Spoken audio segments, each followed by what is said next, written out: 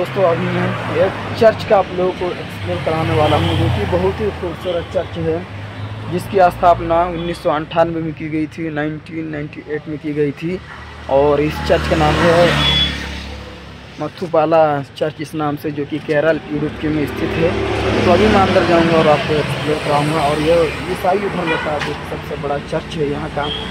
और आपको बता दूँ कि मुझे बहुत ही ज़्यादा प्यार है, धार्मिक स्थलों से, मस्जिद मंदिर से इसी तरह पुरानी जगहों से, पुरानी ऐतिहासिक जगहों से, इसी तरह मोनूमेंट से बहुत ज़्यादा मुझे लगाव हुई, जिसकी वजह से मैं हर एक दिन नई जगह पर जाते रहता हूँ। तो अभी मैं अंदर जा रहा हूँ और आपको कराऊँगा अंदर का। दोस्तों, अब मैं आपको अंदर का हिस्सा दिखा रहा हूँ, जो कि बहुत ही खूबसूरत है और जो कि नेचर वॉक्स की है। देख लीजिए यहाँ से, कितनी खूबसूरत ये जगह है। देख सकते हैं, कितनी खूबसूरत ये चर्च है, चारों तरफ़ जो कि नेचुरली ही प्रकृति है।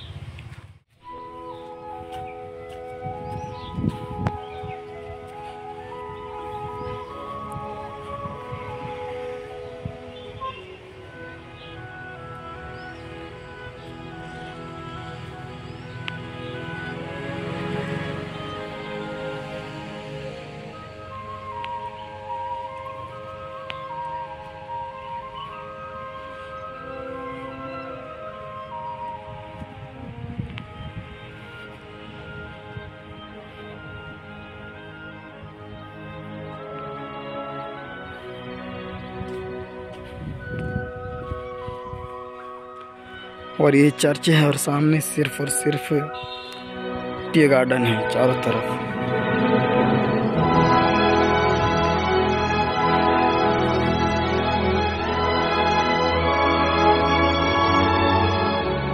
तो दोस्तों फाइनली मैं और पे पहुँच चुका हूँ और मैं फोटोग्राफी इन साइड यानी कि अंदर फ़ोटो लेना मना है। बाहर का दिखाई सकता हूँ। और मैं फ़र्स्ट टाइम चर्च के अंदर आया हूँ। इससे पहले कभी मौका नहीं मिला है। और इतना खूबसूरत चर्च में इससे पहले कहीं देखा भी नहीं है। इतना खूबसूरत, इतना ब्यूटीफुल और गेट का तो दृष्टि आप लोग देख ही लिए होंगे, ऐसा लग रहा है कि गोल्ड का है। गोल्ड कलर किया हुआ है। अब मैं आपको इसका चारों तरफ़ का दृष्टि दिखा देता हूँ। यहाँ थोड़ी सी जगह खाली है, पार्किंग है। Please switch off mobile phone यहाँ पर जो भी जब कथा वगैरह होता होगा तो मोबाइल स्विच ऑफ़ करना पड़ता है। उसके बाद ये बालकनी साइड जैसा है। और यहाँ से आप लोग व्यू देख लीजिए, जो कि एक नंबर है। चारों तरफ़ का व्यू देख लीजिए, जो कि पूरा ही नेचुरल है। और ये सब जो गार्डन पहले ही बता हुआ है, अब मैं आपको उस साइड लेकर चलता हूँ। बहुत ही आनंद आ रहा है। और इस साइड की दृष्टि कुछ ऐसा है। और नीचे जो कि रोड है, चर्च के बीच, जो कि काफ़ी खूबसूरत रोड बना हुआ है वहाँ सब। बाहर निकल सकते हैं। यानी कि ये पार्किंग के लिए एक रोड है। और इधर का कुछ ऐसा है दृष्टि। अंदर एंट्री के लिए शूज़ उतारना पड़ेगा। और यहाँ भी जाने के लिए शूज़ उतारना पड़ेगा।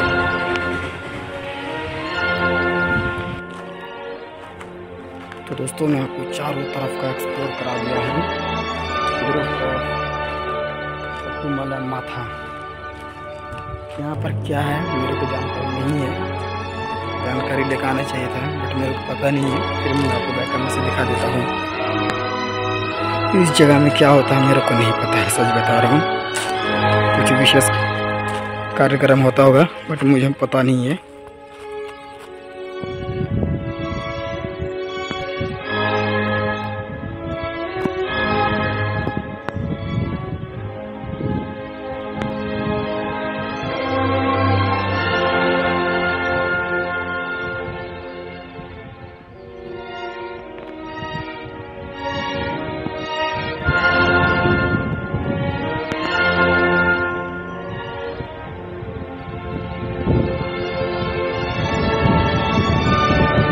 दोस्तों फाइनली अब मैं बाहर निकाल रहा हूँ, यहाँ का एक्सप्लोर करा के आप लोगों को। और आपको बता दूँ कि मुझे काफ़ी अच्छा लगा इस चर्च का एक्सप्लोर करके। एक होता नहीं कि अन्य लोगों के धार्मिक स्थल जाने से पहले थोड़ा सा घबराहट महसूस होती है, या फिर पता नहीं कौन लोग कैसे हैं, क्या कहेंगे। बट यहाँ पर मुझे ऐसा कुछ भी फीलिंग नहीं हुआ, जो कि रियलिटी है काफ़ी। और एक चीज़ है कि यहाँ पर थोड़ा सा कुछ लोग आते हैं घूमने के लिए अपने फ्रेंड कपल्स के साथ। तो उन्हें थोड़ा सा अपना कपड़ा का ख्याल रखना चाहिए। धर्म चाहे किसी का भी हो मतलब वो अच्छा नहीं होता है कि कैसे भी कपड़ा पहन करके आप मंदिर में एंट्री करें या चर्च में एंट्री करें। ऐसा नहीं होना चाहिए। जो कि यहाँ पर मैं थोड़ा बहुत देखा हूँ तो ऐसा नहीं होना चाहिए। बाकी मुझे काफ़ी अच्छा लगा है। बाकी आप लोगों को ये चर्च देख कर कैसा लगा कमेंट बॉक्स में ज़रूर बताना। और ऐसे ही इंटरेस्टिंग और अमेजिंग प्लेस इसी तरह धार्मिक स्थल, ऐतिहासिक जगह देखने के लिए हमारे चैनल को सब्सक्राइब ज़रूर करें। ऐसे ही जगह का मैं एक्सप्लोर कराते रहता हूँ। तो आज के लिए इतना ही, फिर मिलूँगा नेक्स्ट वीडियो में। तो ये भाई थैंक्स फॉर